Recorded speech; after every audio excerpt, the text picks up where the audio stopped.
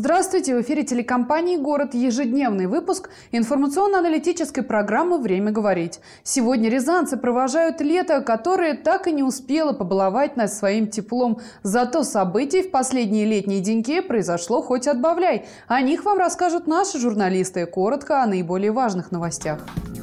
Мост через Павловку, отремонтированный и обновленный, наконец открыт для полноценного движения.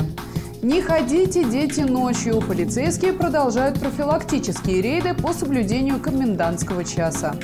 Почем букет? К первому сентября в цветочных магазинах выросли цены на цветы. Теперь обо всем подробнее. В Рязани полностью открыли движение по мосту через реку Павловку на Московском шоссе, половина которого была с середины июля закрыта из-за капитального ремонта. Транспорт по этому участку вновь пустили сегодня ранним утром. К пяти часам утра туда, на троллейбусе номер один, приехали заместитель председателя областного правительства Шаукат Ахметов, министр транспорта региона Евгений Межорин и мэр города Олег Булеков. Они перерезали красную ленточку, для чего, правда, движение на этом участке на некоторое время вновь приостановили. Долгое время участок дороги через реку Павловку на Московском шоссе оставался проблемным в городском хозяйстве. Пару лет назад широко обсуждалась проблема пешеходного моста, а вернее его отсутствие в этом месте. Людям, чтобы попасть в расположенные на Московском шоссе торговые центры, приходилось выходить прямо на проезжую часть и создавать тем самым крайне напряженную дорожную обстановку. Однако осенью прошлого года установили основание моста, затем начался монтаж металлических секций и основного пролета строения. И в октябре пешеходы стали ходить не по дороге, а по крепкому мосту мосту. Надо сказать, что на этом участке Московского шоссе происходили и ЧП. Так, в декабре 2013 года, пробив ограждение на лед реки Павловки, упал легковой автомобиль. Тогда, помнится, водитель отделался переломом бедра и ушибами. И стало понятно, что мост через Павловку требует реконструкции. Вскоре его обследовали инженеры экспертных организаций и признали этот объект аварийным. В апреле этого года чиновники сообщили о проведении проектно-изыскательских работ. А, собственно говоря, сам ремонт по технологии восстановления моста без разбора опорно-балочной системы начался 1 июня, а уже 31 августа проезжую часть открыли для автомобилистов. Красную ленточку перерезали зампред регионального правительства Шаукат Ахметов и глава администрации Рязани Олег Булеков. Ахметов отметил, что благодаря использованным материалам мост должен простоять как минимум 30 лет. При этом 25 из них строение будет находиться на гарантии по ремонту. Отметим, что в ходе работ строители усилили несущую конструкцию за счет железобетонной плиты. Теперь мост способен выдерживать нагрузку до 102 тонн. При этом была изменена и высота моста с 24 до 40 сантиметров за счет установки опорных частей, позволяющих конструкции деформироваться и приспосабливаться к погодным условиям. По сообщениям чиновников, ремонт моста через реку Павловка на Московском шоссе в Рязани обошелся бюджету в сумму примерно 60 миллионов рублей. Однако работы еще не закончены. Ремонт продлится до середины октября, но уже под мостом, не мешая автомобильному движению. К другим новостям. Подготовка к новому учебному году подошла к концу. Обеспечение безопасности учеников в школах и на дорогах города стало немаловажной частью этого процесса. Рязанские полицейские и автоинспекторы озвучили результаты проведенной работы и подвели итоги летнего сезона относительно детского отдыха. Подготовка к безопасному проведению Дня знаний началась задолго до 1 сентября. Так, рязанские полицейские во время летнего отдыха регулярно беседовали с подростками и напоминали ребятам простые правила, как не попасть в беду. А, по результатам оздоровительной кампании преступлений со стороны несовершеннолетних не допущено. А, каких-то тяжких последствий в отношении подростков также не допущено. Единственный момент, скажем так, негативный, который имеет место, это продолжает иметь факты самовольного ухода подростков из летних оздоровительных учреждений. Но в этом году, э, можно сказать, это были единицы, там порядка 8 человек. При этом всех самовольно ушедших из детских лагерей подростков оперативно удавалось вернуть на территорию учреждения. А сейчас основной акцент полицейские делают на проведении праздника Дня знаний. Правоохранители накануне 1 сентября проверили вместе с кинологами все школы города и области. А, нами будут осуществлены проверки общеобразовательных учреждений на предмет их антитеррористической защищенности с использованием служебных собак. Будет осуществлено круглосуточное дежурство сотрудников полиции в данных образовательных учреждениях. Завтра, э, в преддверии начала торжественных линеек, также сотрудники полиции будут осуществлять дежурство на территории образовательных учреждений с, э, до окончания всех торжественных мероприятий. К сожалению, после окончания летних каникул дети и подростки нередко становятся пострадавшими в дорожно-транспортных происшествиях. Потому вблизи школ и детсадов во время праздника появятся усиленные патрули инспекторов ГИБДД. Возле каждого возле каждой школы, возле каждого пешеходного перехода нерегулируемого э, будут выставлены дополнительные наряды ДПС. Э, с этими нарядами проведены дополнительные инструктажи. Инспекторы обещают уже в ближайшие дни провести уроки дорожной безопасности как для первоклашек, так и для ребят постарше. Однако советуют родителям заранее показать своему ребенку наиболее безопасный путь до школы через регулируемые пешеходные переходы. Между тем, не все родители ответственно отнеслись к началу учебного года. По-прежнему встречаются взрослые люди, для которых, похоже, 1 сентября не является важным праздником. Накануне участковые и инспекторы по делам несовершеннолетних наведались по некоторым квартирам и посмотрели, посмотрели, как в таких семьях идет подготовка детей к началу учебного года. На территории железнодорожного района проживает 27 неблагополучных семей. Поставлены на учет по различным основаниям, но все э, в связи с тем, что ненадлежащим образом исполняли обязанности по воспитанию, содержанию, развитию своих детей. Несмотря на предпринимаемые меры, не стоит забывать, что безопасность находится в наших собственных руках. Продолжении темы. Контроль за соблюдением закона о комендантском часе для подростков ведется полицейскими ежедневно. Но в выходные и праздничные дни вероятность нарушений повышается. Поэтому стражи порядка организуют дополнительные профилактические рейды. Особое внимание уделялось увеселительным заведениям. Подробнее в сюжете. В последние годы в Рязанской области наблюдается заметное снижение количества преступлений с участием несовершеннолетних. Эксперты связывают эту тенденцию в том числе и с профилактическим эффектом от ограничения нахождения подростков в общественных местах в ночное время. Сотрудники полиции в Рязани и в населенных пунктах области регулярно проводят профилактические рейды по выявлению и пресечению нарушений регионального закона, который ограничивает пребывание несовершеннолетних в общественных местах в ночное время. На территории Советского района города Рязани э, инспекторами по делам несовершеннолетних систематически проводятся профилактические рейдовые мероприятия, направленные на выявление преступлений и административных правонарушений, э, совершаемые несовершеннолетними. Так, сегодня э, на территории Советского района города Рязани был выявлен один факт нахождения несовершеннолетнего в ночное время суток без сопровождения родителей.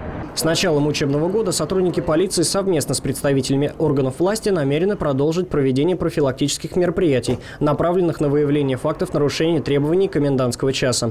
Напомню, что комендантский час в летнее время наступает с 11 часов вечера. В это время подростки должны вернуться домой и не подвергать свою жизнь и здоровье опасности.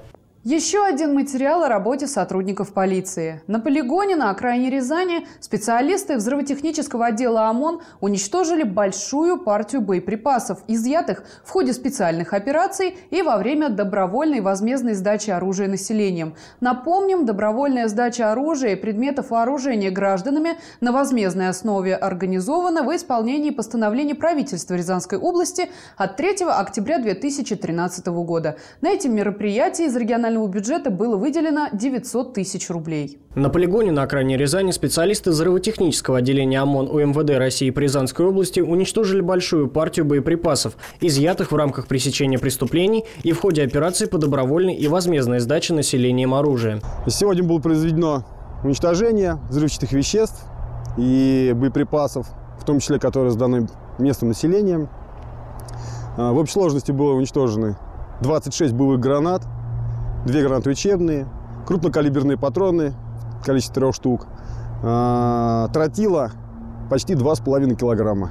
В рамках исполнения плана по уничтожению оружия, боеприпасов и взрывчатых веществ, изъятых сотрудниками полиции взрывотехники ОМОН с соблюдением всех необходимых мер безопасности, на полигоне накладными зарядами подорвали 25 боевых гранат, 2 учебные гранаты, 3 крупнокалиберных патрона и более 2,5 кг тротила и большое количество разнообразных взрывателей заводского производства. Такое количество боеприпасов и взрывчатых веществ было изъято и подготовлено к уничтожению сотрудниками полиции за последние полгода. К другим новостям. Обстановка, связанная с распространением африканской чумы свиней, усугубляется.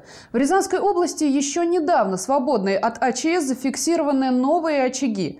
Вирус начал распространяться с Клепиковского района, проник в Спасский, а затем в Пронский район. Но чума продолжает продвигаться дальше. Теперь и другие районы области попали под удар. Эксперты прогнозируют, что быстро остановить вирус не получится. Вирус африканской чумы свиней по-прежнему продолжает распространяться по Рязанскому региону. Вспышки заболевания домашних свиней и диких кабанов отмечаются в Клепиковском, Касимовском, Спасском и Пронском районах. В местах, где обнаружен вирус АЧС, введены карантины. Надо сказать, что согласно инструкции по предупреждению и ликвидации африканской чумы свиней, все свиньи, находящиеся в очаге инфекции, а также в первой угрожаемой зоне, подлежат бескровному умерщвлению и последующему сжиганию. Максимальный забой, признают рязанские ветеринары, единственная действенная мера предотвратить эпидемию. Впрочем, специалисты советуют проводить и профилактику, основа которой – минимальный контакт с больными дикими животными в лесу. Естественно, людям, которые держат поголовье, необходимо э, исключить посещение лесных массивов, да, сбор ягод, грибов.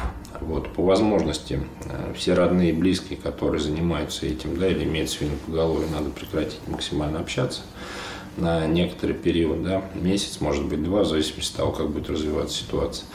Естественно, охотникам, которые содержат э, в своем личном подсобном хозяйстве свиней, да, их необходимо от них э, значит, избавиться путем убоя под контролем ветеринарной службы, потому что, опять же, я повторяюсь, риск выноса именно из фауны он очень высок, именно охотниками, да.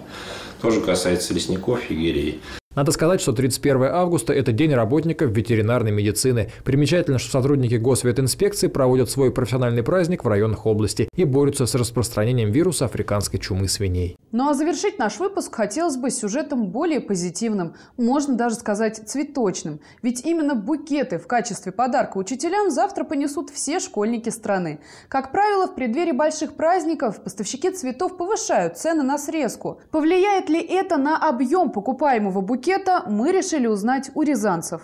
Каждый год первый день осени расцветает букетами. Маленькой ладошке трепетно сжимает свой первый букет первоклассница. Уверенно держит цветы крепкая рука выпускника. Для большинства школьников 1 сентября – день встречи с друзьями и учителями. Возможность с восторгом рассказать о впечатлениях, полученных летом, и поделиться новостями. А цветы учителю – это символ доверия, старой и проверенной дружбы. Хризантемы, георгины и, конечно же, гладиолусы. Без этих символов наступившей осени не обходится ни одно 1 сентября. И, по словам жителей нашего города, никакой кризис и подорожание цветов накануне праздника не способно разрушить традицию. Скажешь нам пару слов? Привет. А вот я смотрю, у тебя букет. Это на 1 сентября собралась? Да. А, сегодня покупала? Да, сегодня. Не жалко денег, нет? Ну, для такой красоты нет. А вот не знаешь, цветы подорожали уже? Да. По сравнению с прошлым годом, да. В прошлом году было намного дешевле. Ну, может, скромненький букетик, но нужен. Что, цветы дороже? Значит, свои вырастим, с клумбы срежем.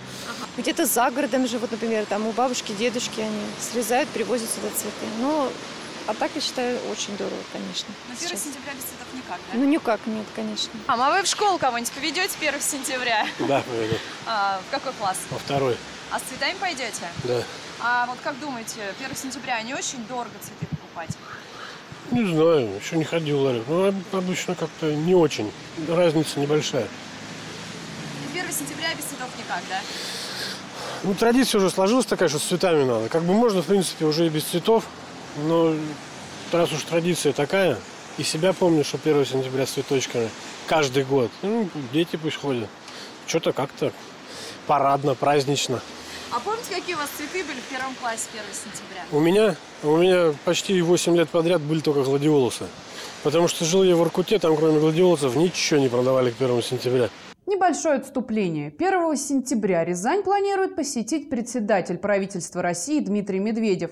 Об этом пишет издание «Свободный мир». Рязанские информационные интернет-порталы информацию подтвердили. Пока о точных сроках визита, а также его целях ничего не сообщается. Напомним, Дмитрий Медведев посещал Рязань в качестве главы государства. Он провел заседание Президиума Государственного совета по вопросам совершенствования системы допризывной подготовки молодежи и побывал в воздушной десантной десантном училище имени Маргелова. Это все новости на сегодня. Далее в эфире программы «Подробности». Гостем нашей студии стал Николай Булаев, заслуженный учитель России. Речь пойдет о начале учебного года. Ну а программа «Время говорить» прощается с вами до завтра. Всего доброго. Уважаемые жители города, Рязанская городская муниципальная энергосбытовая компания напоминает о необходимости своевременной оплаты электроэнергии том числе предоставленной на общедомовые нужды.